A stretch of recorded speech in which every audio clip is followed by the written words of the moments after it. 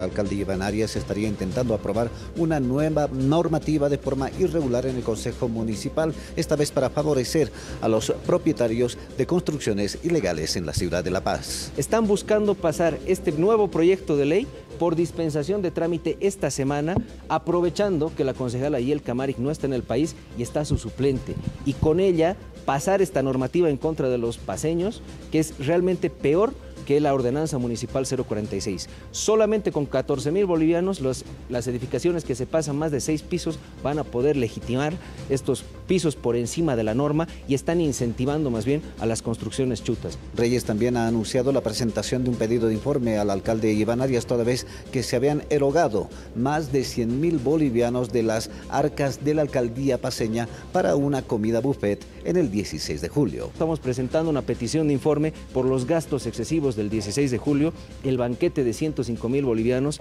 por eh, adjudicación directa y lo peor de todo, que nos pasen el desglose de todos esos gastos que realmente van en desmedro de los paseños también, porque claramente aquí no ha habido una rendición de cuentas real porque el Consejo no sirve.